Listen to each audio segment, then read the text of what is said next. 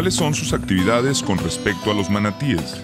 Con los manatíes, bueno, dentro del departamento mis actividades es todo lo que es mantenimiento en general de las especies que tenemos, manatíes, aves y lo que abarca alimentación, limpieza de jaulas, todo eso, pero principalmente entrenamiento con ellos, condicionamiento operante con, con los manatíes, con las nutrias también y un poquito con las guacamayas.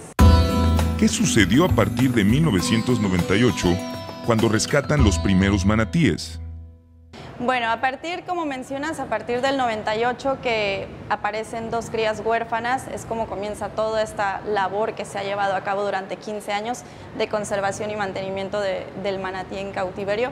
La interacción que tenemos con nosotros, aparte de conservación, es también rehabilitación de ellos, sacarlos desde crías. En el caso de Costeña, que está pasando por aquí enfrente, se rehabilitó porque ella tenía una aleta herida y bueno, todo este programa que se ha tenido aquí en el acuario durante estos años ha sido para mantener la especie, para también difundir, que la gente conozca un poquito más del manatí del Caribe. Mucha gente no, no lo conoce y mucho menos sabe que está en peligro de extinción, principalmente por el ser humano. ¿Cómo definimos a un manatí?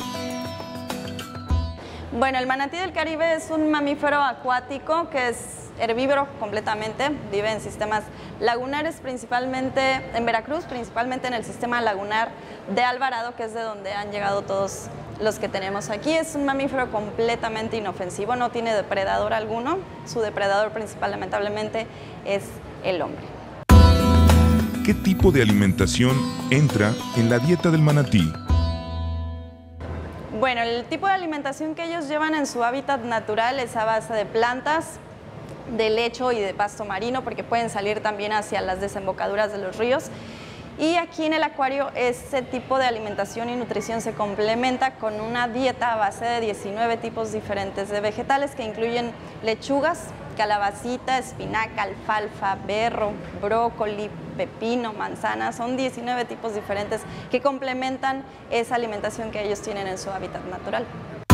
¿Cómo se debe aplicar la palabra mantenimiento en las especies de manatí que se atienden en el acuario? Bueno, primero que nada son una serie de factores que deben de estar complementados desde la calidad de agua. Hay personal especializado en estar monitoreando la calidad de agua del estanque donde los mantenemos y la alimentación, por supuesto, es también la base de, un buen cuidado que deben de tener ellos, aparte de que se prepara todo con extremas este, medidas de higiene, obviamente. Se mantienen eh, física y mentalmente activos también, es muy importante para ellos para que no evitar un estrés del cautiverio, también por eso es el tema del, programa de entrenamiento que se lleva con ellos. ¿Por qué conservarlos? Porque, como lo mencionaba, es una especie que lamentablemente está en peligro de extinción desde hace años.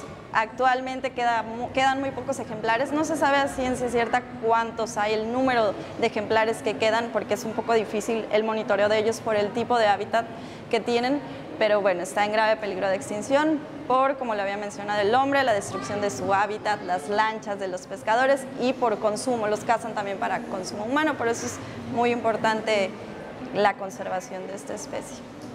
Un mensaje, bueno, los que no conocen al manatí del Caribe, los invitamos a que vengan obviamente al acuario para que conozcan y aprendan un poco más de esta especie.